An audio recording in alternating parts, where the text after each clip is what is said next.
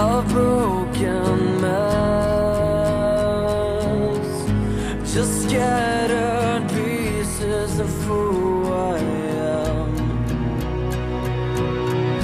I tried to.